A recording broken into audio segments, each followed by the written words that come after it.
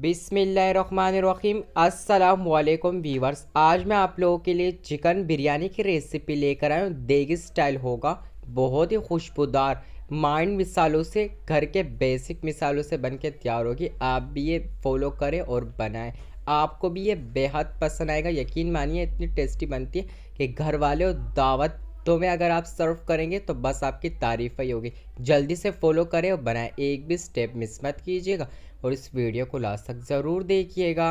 एक एक पतीली मैंने रख दी लिड हटाते और चूल्हे को मैंने मीडियम पे ऑन कर दिए सबसे पहले मैं इसके अंदर डाल दूँगा एक कप ऑयल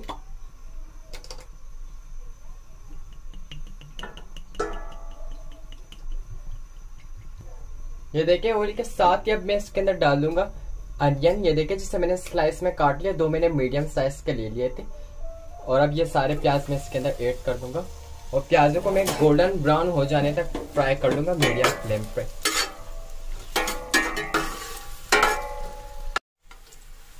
तो ये देखिए, प्याज अच्छे से गोल्डन ब्राउन हो चुकी इसमें से आधे प्याज में निकाल लूँगा ऊपर गार्निशिंग के लिए।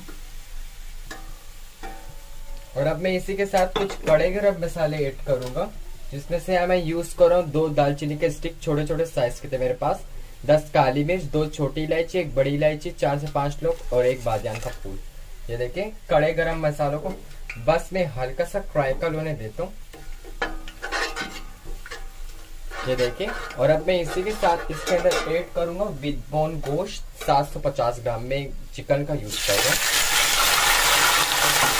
और अच्छे से मिक्स कर दूँगा ये देखिए, गोश्त का कलर चेंज हो चुका है पिंक से व्हाइट हो चुका है और अब मैं इसी के साथ इसके अंदर ऐड करूँगा तेज पत्ते। ये देखिए, मेरे पास बड़े साइज़ के थे तो मैंने टुकड़ों में ले लिए दो से तीन। और अब मैं इसी के साथ इसके अंदर ऐड करूँगा थ्री जी पेस्ट दो टेबल स्पून इसे मैंने वन टी स्पून सूखा धनिया ऐड कर दिया, साबित, और वन टीस्पून जीरा। इसे भी मैंने मोटा मोटा कूट लिया। ये देखिए, ये मैं इसके अंदर ऐड कर दूँ। अगर आपको देगो वाला टेस्ट चाहिए तो आप ये जीरा सूखा दही ऐड करें तो टेस्ट बहुत ही फसब आता है। देख बाहर जो देगों में जो करते वो भी इसी तरीके से करेंगे। ये टिप्स मैं आपको बता रहा हूँ। ये देखें अच्छे से मैं भून लूँगा अदरक, लहसुन और तेज पत्ते के साथ में गोश्त को। ये देखें और अब मैं इसी के साथ कुछ पाउडर मसाले इसके अंदर ऐड करूँगा। ये देखें जिसमें से यहाँ मैं यूज़ कर रहा हूँ, एक टेबल स्पून शान का मसाला। यहाँ देखें मैं रेडीमेड यूज़ कर रहा हूँ। और अब मैं इसी के साथ इसके अंदर ऐड करूँगा दो टीस्पून लाल मिर्चों का पाउडर दो टीस्पून नमक, आधा टीस्पून हल्दी का पाउडर दो टीस्पून धनिया का पाउडर एक टीस्पून कुटी हुई मिर्च, एक टीस्पून गरम मसाला और 10 आठ से 10 आलू बुखारे। बिरयानी में आलू बुखारे ना हो तो बिरयानी अच्छी नहीं लगती तो आलू बुखारे ज़रूर ऐड कीजिएगा। और अब मैं इसी के साथ इसके अंदर ऐड करूँगा जेफल जवेत्री पाउडर वन टी ये देखिए, और अच्छे से मिक्स कर लूँगा। जेफल जवेत्री मैंने फ्रेश यूज़ किए उसे मैंने घर में कूट लिया था। ये देखिए, और अब मैं इसी के साथ इसके अंदर ऐड करूँगा टमाटर दो मैंने मीडियम साइज़ कर लिए जिसे मैंने रफली स्लाइस में काट लिया, और एक नींबू भी ले थे, इसे मैंने स्लाइस में काट लिया। मुझे बिरयानी में नींबू पसंद है तो इसलिए मैं ऐड कर रहा हूँ। और अगर आपको नहीं पसंद तो ना ऐड करें। और इसी के साथ मैं इसके अंदर ऐड करूँगा दही, आधा कप, या खट्टा मीठा, जैसे आप दही चाहें तो ले सकते हैं। ये देखिए, अच्छे से मिक्स कर लूँगा।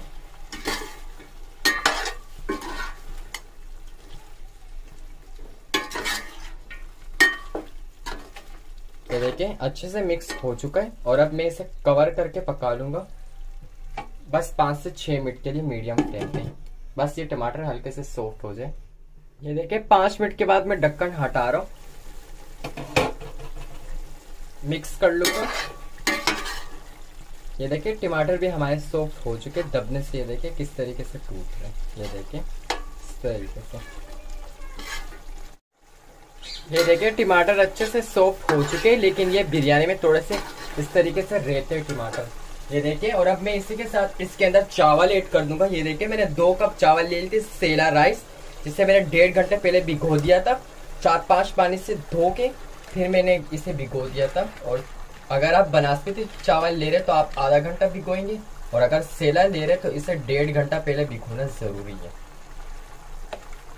ये देखिए, चावल के साथ ही अब मैं इसके अंदर ऐड करूँगा पाँच कप पानी। मैंने दो कप चावल लिए थे तो मैं पाँच कप पानी यूज़ करूँगा।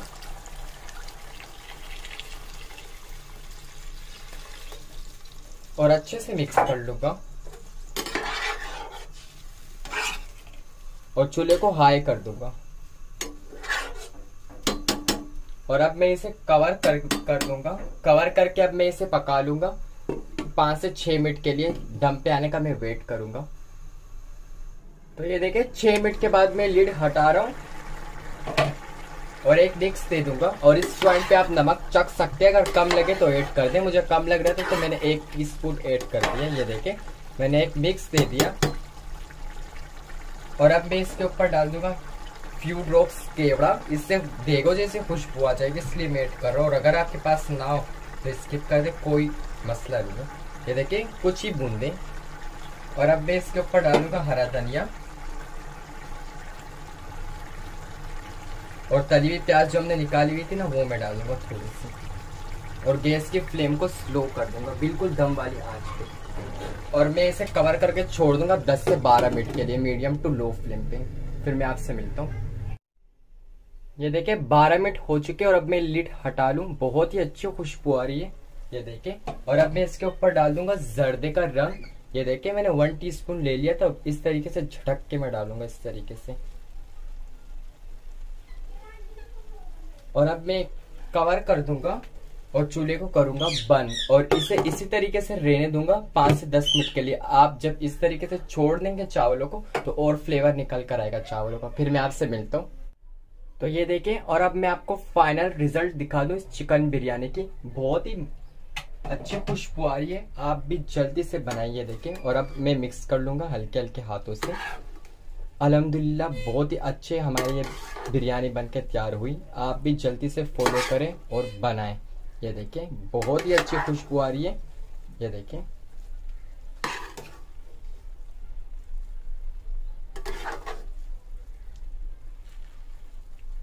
ये देखें तो चले अब हम इसे सर्व कर लेंगे।